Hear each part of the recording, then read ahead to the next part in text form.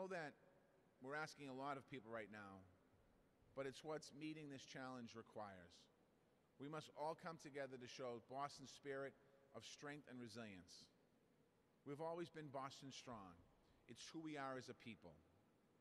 On this Wednesday, April 15th, it's the seventh anniversary of the 2013 Boston Marathon bombing. That means it's one Boston Day. It's a tradition that we started to commemorate our city's response to that tragic event. As a community, we turned our grief into a powerful movement founded in peace, kindness, reflection, and hope. Each year since then, we have celebrated One Boston Day through remembrance and reflection with acts of kindness, both big and small. This holiday has come to represent our city spirit, our values, and most of all, our resilience as a city and as a people. This year's One Boston Day is certainly going to look a lot different. We won't be able to host in person events or volunteer projects for One Boston Day this year as we've done for the last six. But in many ways, the positive impact that people can make this year will be bigger than ever.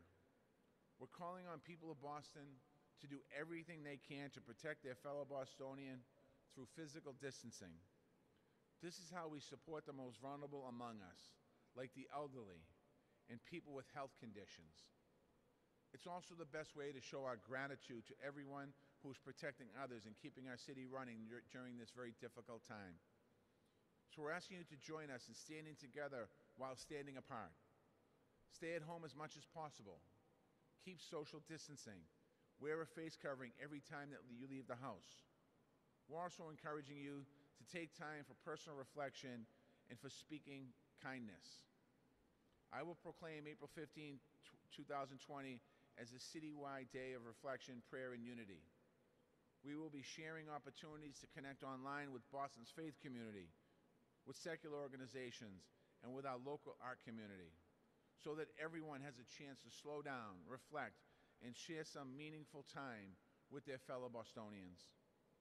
We're also calling on everyone to spread the goodwill through acts of kindness you can safely do from home. We'll be sharing these the things you can do over the next couple of days. And we invite you to share your reflections on the meaning of One Boston Day on social media with the hashtag One Boston Day.